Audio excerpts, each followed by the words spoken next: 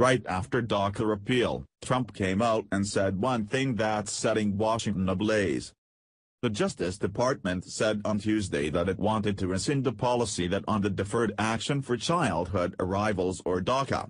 AG Sessions said on Tuesday that the Department of Homeland Security had agreed to get slowly do away with DACA after a six-month grace period. The responsibility rests with legislators, now. Trump is using DACA to make the legislature work harder again. Hopefully, now Congress will be able to help them and do it properly, Trump said today. I think it's going to work out very well. And long term, it's going to be the right solution. Trump then said on Twitter that he's looking forward to address immigration reform in a way that puts hard-working citizens of our country one RST. Thank God we have a president that cares about our citizens. Share this everywhere to scare Congress. If they don't do their job, we are coming for them and we will vote them out.